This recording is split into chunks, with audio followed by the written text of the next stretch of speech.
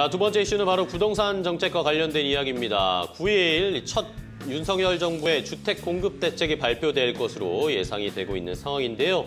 과연 어떤 내용이 담길지 그리고 건설 관련해서 다시 한번 시장이 조금 들썩일 수 있을지 어, 이것에 대한 대책 그리고 전망을 한번 알아보도록 하겠습니다. 자, 두 번째 이야기는 부동산과 관련된 이야기입니다. 윤석열 정부의 이 부동산 대책이 아마 내일 발표될 것으로 지금 예상이 되고 있는 상황인데 뭐 어쨌든 뭐 규제를 좀 풀어준다거나 뭐 대출을 좀 완화해 준다거나 이런 이야기들이 담길 것으로 보입니다. 네, 예, 그렇습니다. 일단 뭐 그 주택 공급 관련돼서는 대선 때부터 계속 이슈가 네. 됐었죠. 뭐 양당 후보들이 다 어, 늘리겠다라고 뭐 얘기를 했고요. 그렇기 때문에 뭐 윤석열 정부에서도 가장 핵심 이제 뭐 정책 사 정책 공약 사업이 아마 뭐 주택 공급 확대다 라고 보시면 네. 될것 같은데요. 이와 관련돼서 뭐 250만 호 플러스 알파의 그런 이제 공급 계획이 이제 예상되어 있다라고 보시면 되겠습니다. 뭐 지금 향후 5년 동안 이제 뭐 그 관련된 이제 로드맵이 이제 내일 나온다라고 보시면 될 것 같고요. 아마 시냐, 시장 친화적인 정책으로 인해서 민간 부분에 이제 주택 공급을 이제 활성화시키는 그런 이제 정책이 추진될 걸로 예상이 되고 네. 있습니다. 뭐 대표적으로 뭐 재건축 재개발 관련된 규제가 아마 좀 해제가 될 것이다라고 지금 많이 얘기가 되고 있고요. 특히 뭐 재건축 초과 화- 이익 환수제, 그다음에 뭐 재건축의 정밀 안전 진단에 대한 뭐 기준이 좀 완화가 될 것이다라는 부분 얘기를 하고 있고요. 네. 그다음에 신규 공급 모델로 해서 역세권 도심 복합 개발을 활성화시키겠다. 그다음에 뭐 역세권 첫집, 그다음에 청년 원가 주택 같은 뭐 그런 공급 대책이 지금 예상이 되고 있고요. 신도시 관련돼서 지금 뭐 3기 신도시의 공급 물량을 확대하겠다. 그다음에 1기 신도시의 특별법을 추진하겠다라는 얘기를 하고 있습니다. 그다음에 기타적으로 뭐 청약 제도나 뭐 리치 활성화 같은 뭐 그런 내용도 좀 담길 걸로 예상이 되고 있다라고 보시면 될 것 같고요. 뭐 그러다 보니까 이제 그 이렇게 공급이 증가한다라고 하게 되면 네. 일단 뭐 당연히 건설 관련주들이 수혜를 입을 네. 것이다라는 건 뭐 당연히 예측을 할 수 있는 그런 상황이고요. 뭐 과거와는 다르게 이번에 이제 대규모 건설이 이제 어 증, 그러니까 이제 주택 공급이 이루어진다라고 하게 되면 건설업종 중에서 대형주도 물론 이제 관심을 음. 갖겠지만 그보다는 이번엔 중소형 건설주가 조금 더 관심을 가지시는 게 어. 어떨까라는 생각을 좀 해보고 있습니다. 뭐 민간 중심의 이제 뭐 재건축 재개발 같은 경우는 당연히 뭐 대형 건설사가 상당히 유리한 그런 측면이 있습니다. 당연히 뭐 서- 어, 건설사 선정을 입주민이 하기 때문에 그 브랜드에 대한 가치를 상당히 좀 우선시한다라고 보여지는데요.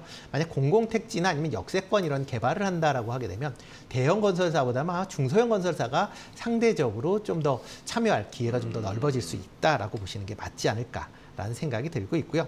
또 한번 이제 관심 있게 보셔야 될 게 아마 이제 건설 기자재 관련 쪽도 조금 관심 있게 다시 보시는 게 어떨까 싶습니다. 이렇게 뭐 건설이 대규모로 이루어진다라고 하게 되면 뭐 시멘트나 레미콘 뭐 요즘에 가격이 올리는 것 때문에 조금 이제 이슈가 네. 있는데요. 이 외에 뭐 각종 건설 건 자재 관련된 그런 업체들도 조금 관심 있게 보시면 어떨까 싶고요. 특히 뭐 내장재 관련된 업종에 조금 관심 있게 보시면 어떨까 싶은데요. 뭐 대표적으로 뭐 KCC나 뭐 벽산 같은 경우에 조금 관심 있게 보시는 게 좋지 않을까라는 생각을 해보고 있습니다. 네. 자, 어쨌든 부동산 대책에 따라서 건설주들이 다시 움직일지를 좀 봐야 되는 상황이고, 근데 최근에 건- 이런 원자재 가격이 좀 올라가다 보니까 건설주들이 좀 부담 갖고 최근에 좀 움직이기 힘들다 이런 이야기들도 네. 좀 있거든요. 네, 괜찮을까요? 그렇죠.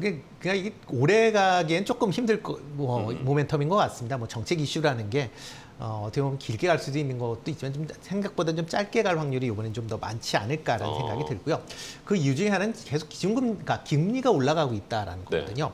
금리가 올라간다라고 하게 되면 그만큼 주택 거래가 상당히 이제 위축이 될 줄겠죠. 수밖에 네. 없는 거고요. 특히 이제 지금 주택담보대출 같은 경우 6%대를 넘어서는 그런 이제 모습들을 보이고 있습니다. 그러다 보니까 과연 이렇게 이제 신규 주택이 나왔을 때 과연 얼마만큼 청약을 할 것이냐라는 음. 부분도 조금 이제 걱정 어린 그런 상황이고요. 특히 수도권 중심적으로 아마 그 집중적으로 아마 주택이 공급이 될 걸로 예상이 음. 되고 있습니다. 그래서 수도권에서에만 최대한 150만 가구 정도 공급이 된다라고 하게 되면 향후에 주택 시장은 좀 안정이 될 가능성도 있고 아니면 좀 음. 하락이 될 가능성도 뭐 충분히 있는 그런 상황이기 때문에 그런 점은 감안을 하시는 게 맞을 거다라고 생각은 하지만 그래도 이렇게 건설을 한다라는 것 자체는 뭐 물론 이제 주택 가격이 떨어지는 측면이 있긴 하겠지만 뭐 신규 공, 주택 가격 자체가 뭐 기존 주택 가격에 비해서 뭐 저렴하게 공급이 되는 거니까요. 그런 걸 감안하면 아직까지는 뭐 단기적으로는 좀 더 지켜보시는 게 어떨까라는 생각을 해보고 있습니다. 알겠습니다. 일단은 뭐 단기적으로 정책 이슈에 모멘텀을 받을 수 있을지를 살펴봐야 되겠고, 근데 최근에 어쨌든 수도권도 가격이 떠, 집 아파트 가격이 좀 떨어지고 있는 상황이기도 하고 여기에다가 뭐 원자재 가격 좀 상승하고 있는 이런 것들도 이거는 좀 중장기적으로 영향을 살펴봐야겠다라는 의견을 주셨습니다. 자 오늘 임순재 대표와 함께 두 가지 이슈 이슈파워와 함께 확인을 해봤습니다. 오늘 또 좋은 insight 주셔서 감사하고요. 다음에 또 대표님 뵙도록 하겠습니다. 네, 고생 많으셨습니다. 네, 고맙습니다. 고맙습니다.